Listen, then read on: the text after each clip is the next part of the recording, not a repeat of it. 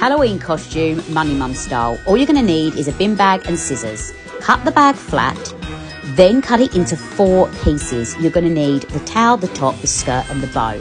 Halloween doesn't have to cost a bomb. I've done this just with a bin liner. It's free, and I think you'll all agree. How great does Bronte look?